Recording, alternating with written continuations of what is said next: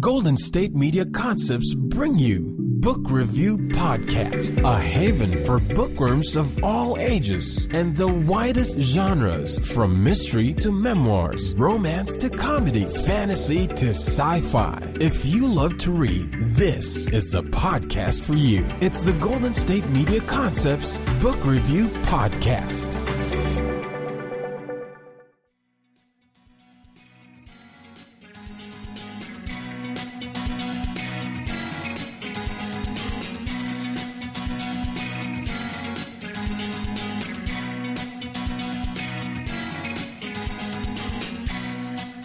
Hello, and welcome to the GSMC Book Review Podcast, brought to you by the GSMC Podcast Network.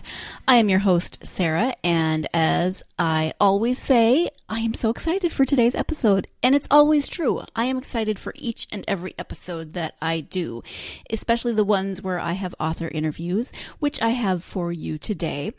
I am doubly excited today, though, because we are starting something new here at the GSMC Book Review podcast.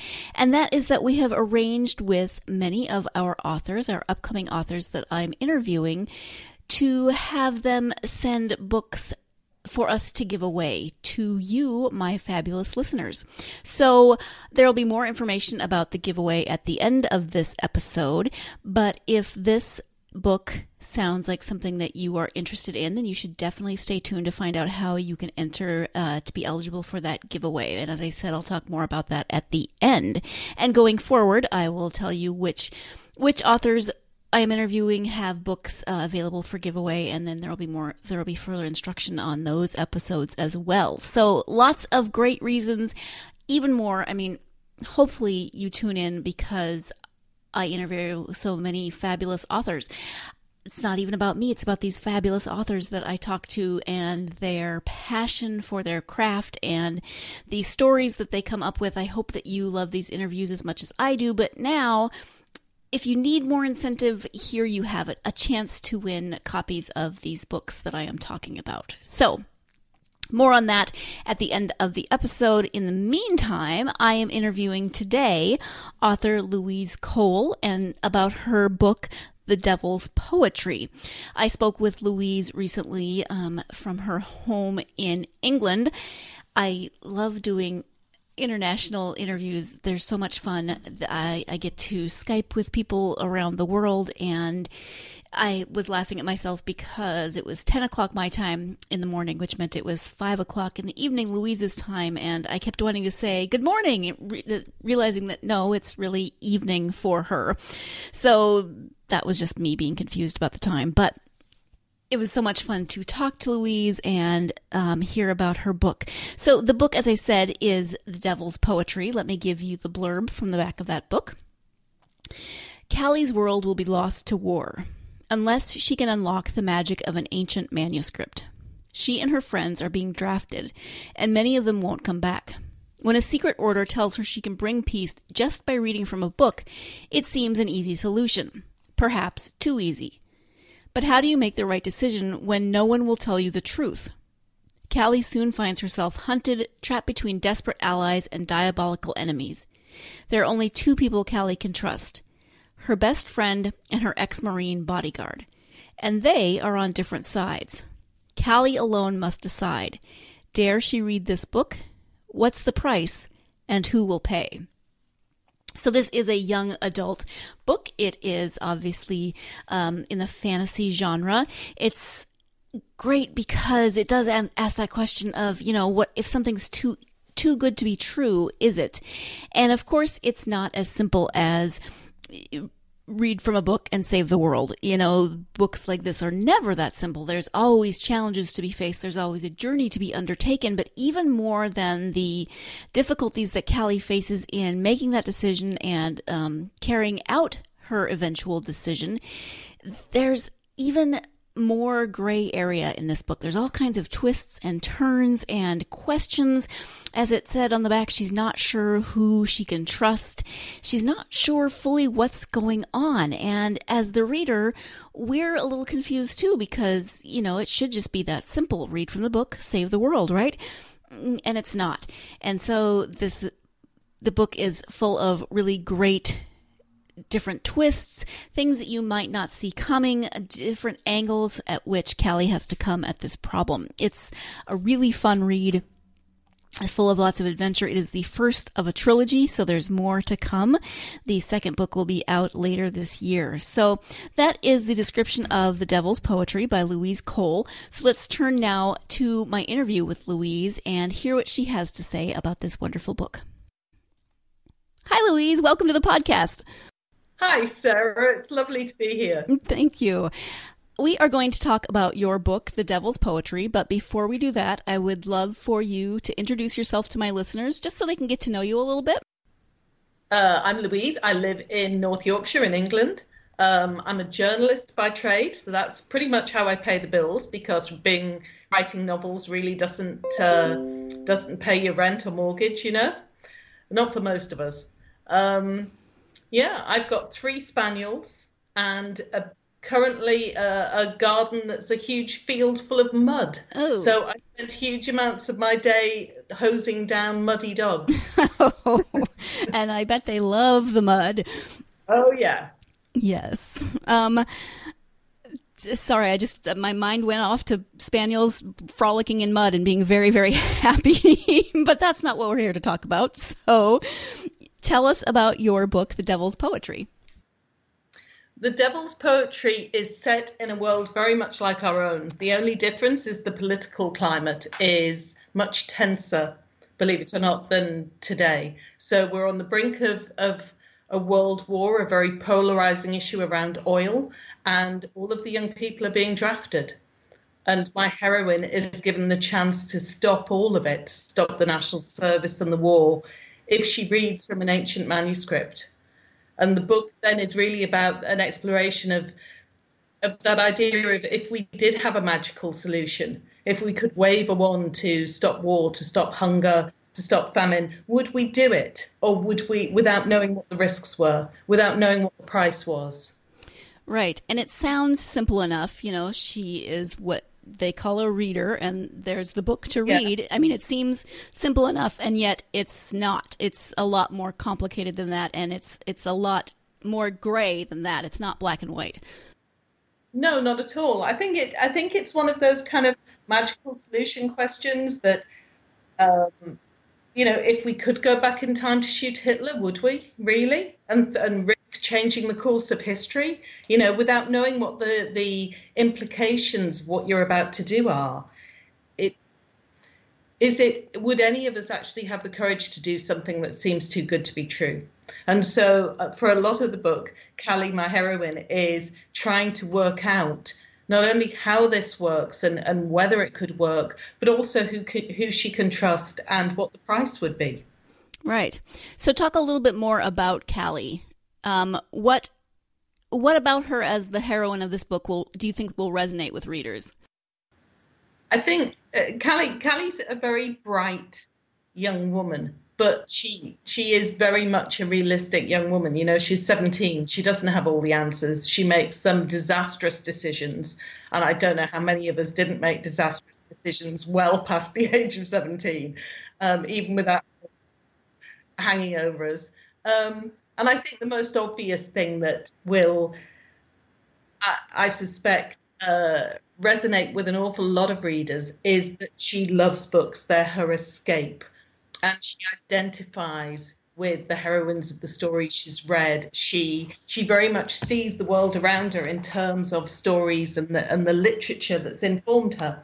Uh, and I think for a lot of us when we're young, you know, books if we if we love reading, then novels become our way of dealing with with life and maybe escaping it sometimes, understanding it.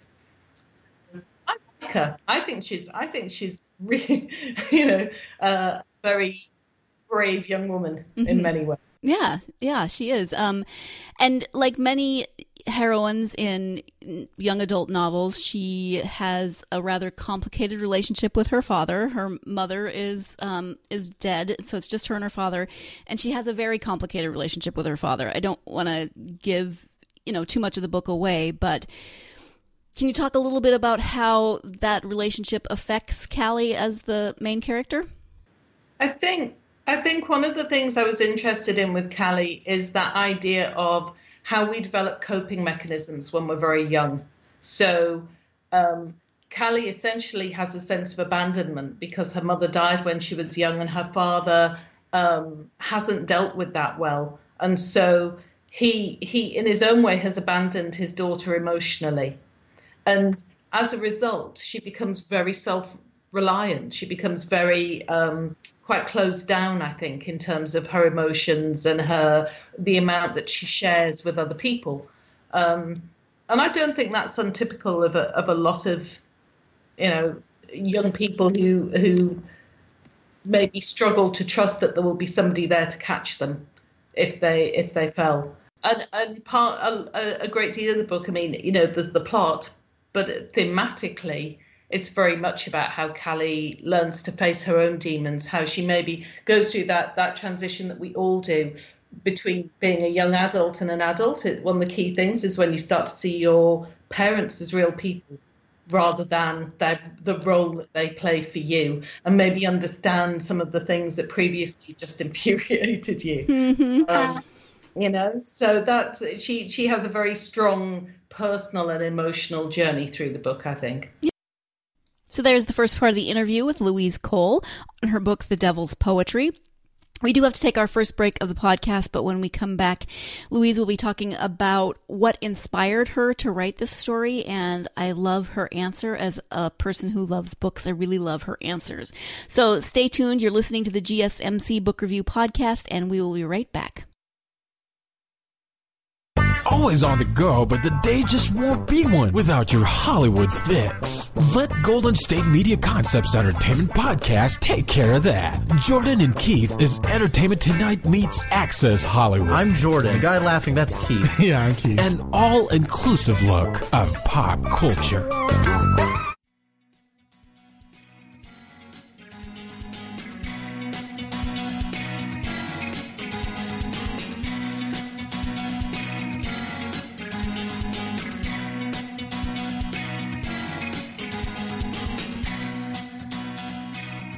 Welcome back to the GSMC Book Review Podcast. I am speaking today with author Louise Cole about her first book in her trilogy. The first book is called The Devil's Poetry.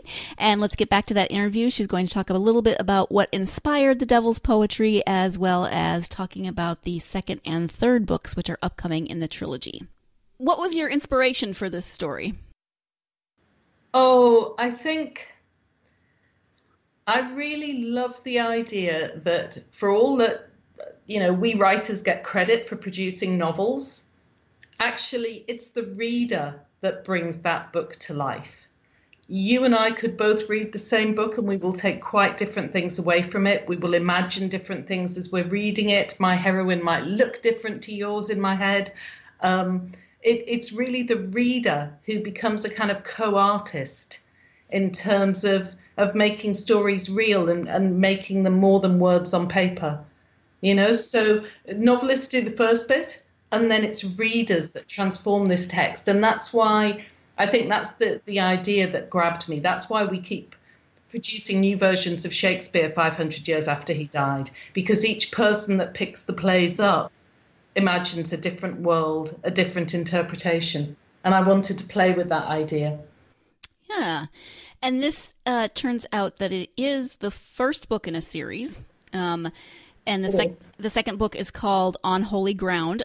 I don't want to give anything away about the ending of the first book because I want people to read it. But can you talk a little bit about On Holy Ground and how that story develops?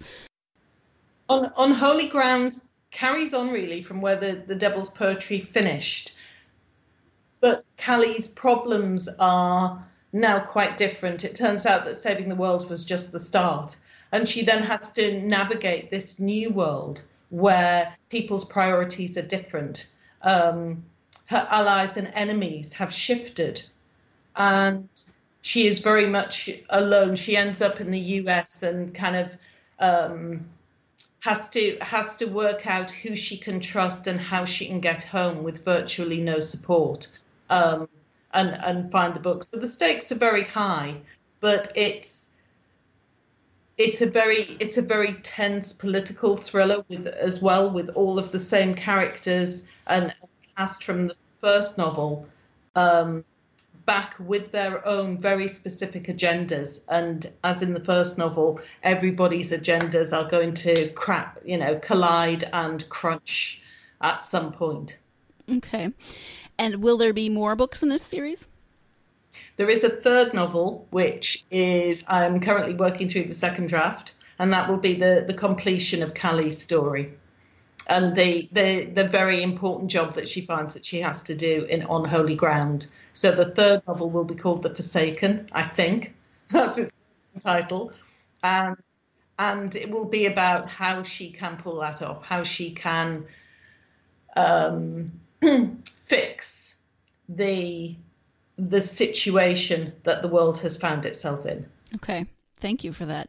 I have two Amazon related uh, questions for you since we've talked about both books. The first is that you mentioned that uh, the book The Devil's Poetry is on sale. Is that correct on Amazon this week? Kindle Kindle Press have uh, are running a promotion on yeah or Amazon Publishing is running a promotion on the uh, the Devil's Poetry this week for ninety nine cents on Kindle. So if you want a cheap excellent read this week, now is the time to buy it. Perfect. Thank you. And then also, uh, I saw on Twitter recently that the the second book on Holy Ground is currently up on Kindle Scout. Uh, the first three chapters to be voted on for potential publishing on that uh, medium, yeah, right? Yeah, Kindle Scout is the is a kind of great platform for letting um, your readers and fans know that the next book is coming. So Amazon kind of gives us a, a, shop window for a month, which is very generous of them. Um, and if enough people nominate it, then Kindle Press might well pick it up for a contract. But it will be coming to my readers regardless. But it would be very nice if people could go on Kindle Scout and vote for On Holy Ground. Yeah, and if you finish uh, Devil's Poetry and you just are jonesing for more, you can go read the first three chapters, which is always fun, yeah. and get that little teaser. So, um, you mentioned that you're working on the second draft of the third book. Um, that's your current project. Are you working on anything else? That's probably enough. well, I am actually. I have an adult fantasy series. When I a couple of years ago, I wrote a a YA fantasy that um, I put aside my agent at the time. Uh, didn't want to to pitch any more YA fantasy to UK publishers at the time because they they weren't really buying young adult stuff. She said, put it away for a little while. And actually, since I've since I've uh, been kind of living with it and living with the story of that book, I've decided to make it an adult sort of epic fantasy series. So I'm working on that at the moment, and I think I have an editor lined up for it. So that would be very nice. Yeah. Okay. Thank you for that. Um, you said that you are um, a journalist in your day job, but so you obviously you write for your day job and for your, you know, your your your yeah. your writing job. I mean, they're both writing jobs. Um, when writing novels is a busman's holiday, you know. yes. In the states. um, some people use it. I don't know if it's terribly common, but maybe I just know it because I read too many British novels. you can't read too many British novels. I agree. I, you can't read too many novels, regardless.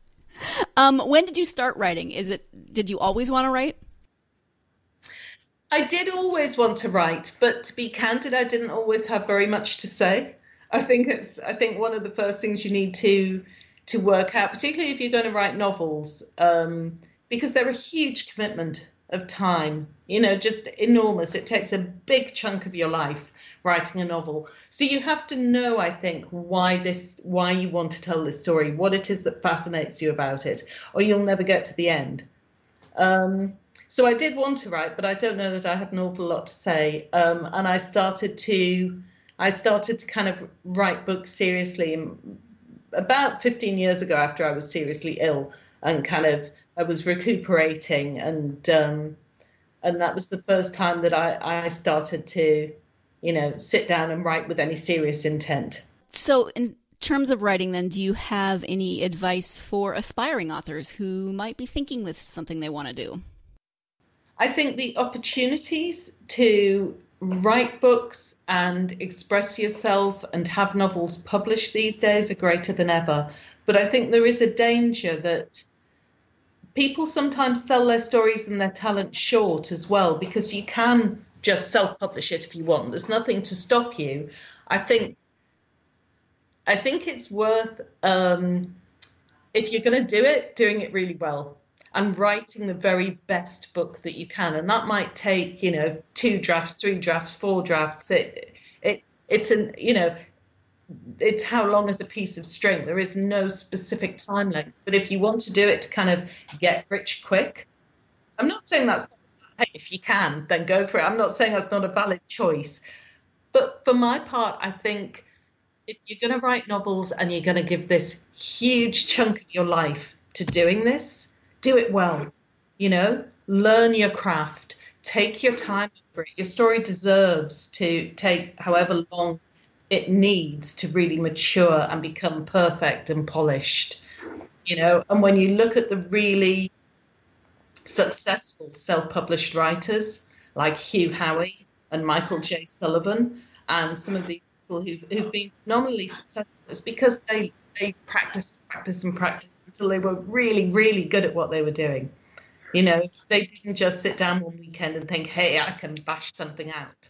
You know, they gave them time. It's a craft like anything else. You've got to be prepared to like give yourself time to become a black belt. I'm going to interrupt one more time so we can take our second and final break of the podcast. But when we come back, we will be talking, I will be talking more with Louise, a little bit more about her advice for authors, where you can find her on the internet, and of course, the uh, details about the giveaway for the Devil's Poetry. So stay tuned. You're listening to the GSMC Book Review Podcast, and I will be right back. Tired of searching the vast jungle of podcasts? Now listen close and hear this out. There's a podcast network that covers just about everything that you've been searching. Hey! The Golden State Media Concepts Podcast Network is here. Nothing less than a podcast bliss with endless hours of podcast coverage. From news, sports, music, fashion, cooking, entertainment, fantasy, football, and so much more. So stop lurking around and go straight out to the Golden State Media Concepts Podcast Network. Guaranteed to fill that podcast itch. Whatever it may be, visit us at www.gsmcpodcast.com. Follow us on Facebook and Twitter and download us on iTunes, SoundCloud, and Google Play.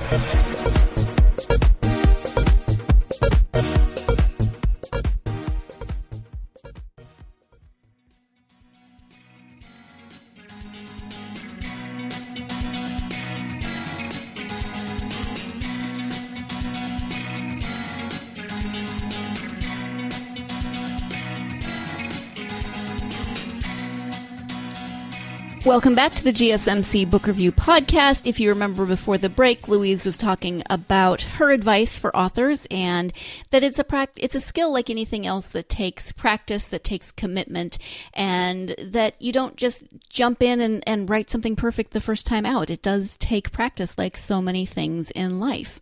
So here we have the conclusion to my interview with Louise Cole. Right. So don't take the um, college approach of writing your final paper the night before, basically. No, no, just, just you know, enjoy it, learn, live it, you know, and not. I think the other thing I would say is have a very clear idea of what what success means to you, because there are a lot of people who who will count success in monetary terms. Um, to be honest, in in the UK, I mean, the average earnings for novelists are well under ten thousand pounds a year. I mean, it, it's kind of minimum wage, you know, stuff. You couldn't you couldn't keep a family on it. You couldn't live on it. You probably couldn't keep your dogs on it, if I'm perfectly honest. So you're going to have to do it for other reasons. And some people are really successful. That's wonderful. You know, in in terms of money, then that's great. But there are lots of other things which constitute success. You know, finishing your first draft uh, finding a reader who really loves it, getting a good review. You know, there are lots of different ways of measuring success, and I think we should celebrate all of them. Yeah, I agree. So it sounds for you like for you that writing can be kind of all consuming. Do you include autobiographical elements in your books at all? Not deliberately. I'm not saying that I don't have overlap, for instance, with Callie, because I was also a teenager who loved books. So I guess to some extent, you know, there's going to be common ground. But if anything, I steer away from my real life in fiction because I think sometimes it's hard to write about things that you don't have any emotional distance from. That you need to have a certain perspective before you can actually kind of polish it and show it to people without it just being you bleeding all over the page. you know, I think that there's. Uh, and and also I'm I'm quite a private person. You know, I don't want the story to be about me. I want the story to be something universal. Sure. Thank you. You love books. That's clear from your speaking today and from the the book itself because you have all sorts of literary references in the book, which I love. Um, when you take the time to read, who are your favorite authors and what are your favorite genres? I did I did English at college many many years ago, so I read a lot of the classics and still love them. Um, these days, I tend to read a lot of epic fantasy. So people like Scott Lynch, Patrick Rothfuss, Reddick, um, Robin Hobb, I think is is a wonderful writer. I'm um, if people actually manage to to finish a series instead of doing you know a Game of Thrones and like wait making you wait ten years, I love them even more. I'm getting where I'll only start a series when I know that the, third, the final book is coming. I absolutely hear that. And and I love I love crime fiction. I love an awful lot of commercial fiction. Um, I'm very and I read a lot of YA, of course, because that's that's so far what I've tended to write. So Thank you. Where can people find you on social media and do you have a website? I don't have a website at the moment because actually I find that I interact with people on Facebook, on Twitter. I've got my Amazon authors page. Um, and I find, I, ironically, in my media agency, I create websites for a lot of other people. You know, it's one of the things that we do.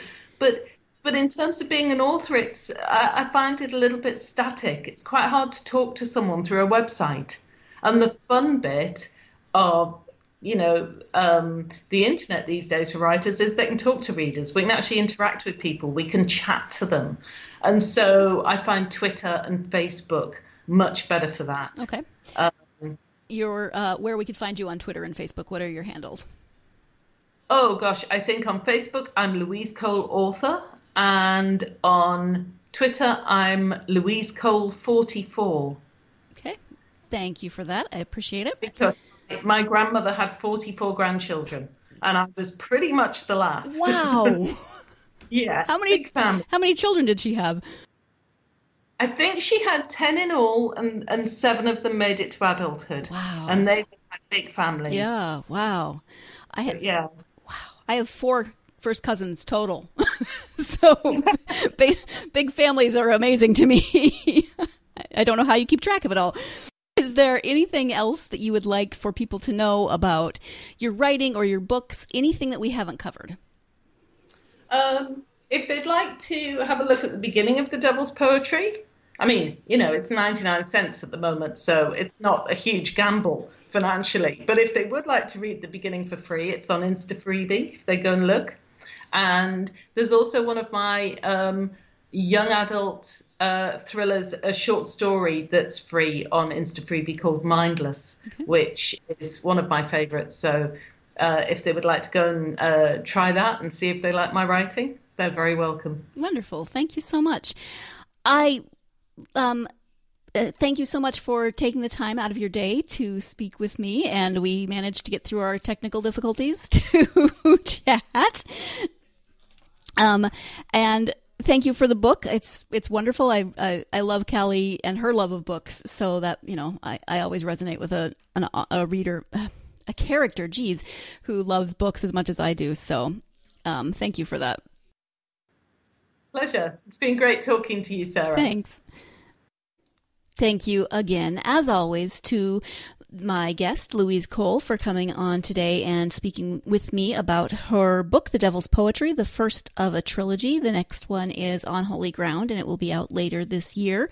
Don't forget that you can go on um, for, to Kindle Scout and vote for you can read the first three chapel, chapters of On Holy Ground. And if it's something that you want to read, if you want to know more about Callie's story, as I do, then you can vote and it might get picked up by Kindle Scout. Regardless, though, Louise did say that it will be out later this year. So thank you to Louise. Um, thank you to my listeners, as always. As a thank you, we are doing something new here at the podcast. As I mentioned at the beginning of the episode, we are starting to do some book giveaways and this is our first one. So I'm excited that Louise, Louise's book gets to be the first giveaway for this. So if you are intrigued by the devil's poetry and Callie's story and you would like to read it for yourself and you'd like a free, um, physical copy, you can enter the giveaway. All you have to do is go on social media, Twitter, Facebook, Twitter or Facebook and retweet this episode. Um, that's it. You just have to follow us on Twitter and Facebook and retweet or share this episode, depending on which social media platform you're on. You either retweet or share, and that will enter you into this giveaway. Um, we will be giving the, I will be announcing the winners next week, and yes, yeah, so you have a week to enter. And um, our Facebook and Twitter feeds are in the show notes of this episode. You can find those down there, but I'll just tell you as well. Facebook, we are at GSMC Book Review, all one word. And Twitter, we are at GSMC underscore book review. So not too difficult. You can probably remember that. Uh, in the meantime, you can find all of our podcasts, not just the book review, but all 20 of our podcasts at www.gsmcpodcast.com. You can download those podcasts on iTunes, Stitcher, SoundCloud, wherever you go to listen to podcasts. And you can follow us on social media, as I was just saying. So, um, in addition to Twitter and Facebook, you can find us on Instagram and Tumblr. Thank you so much once again to my guest, Louise Cole. Thank you to you, my listeners. I hope that you will join me next time when I will be speaking with author Jim Nelson about his book, Bridge Daughter. And it's another young adult book with another really great main character named Hannah. So you definitely want to tune in and find out because Hannah has a very, very odd life um, compared to most 13 year old girls. So join me on Thursday for that interview with Jim Nelson. Thank you again for joining me. I hope you will join me again next time. In the meantime, go out and get yourself lost in a good book. Thank you. You've been listening to the Golden State Media Concepts Book Review Podcast, part of the Golden State Media Concepts Podcast Network. You can find this show and others like it at www.gsmcpodcast.com. Download our podcast on iTunes, Stitcher, SoundCloud, and Google Play. Just type in GSMC to find all the shows from the Golden State Media Concepts Podcast Network, from movies to music, from sports to entertainment, and even weird news. You can also follow us on Twitter and on Facebook. Thank you, and we hope you have enjoyed today's program.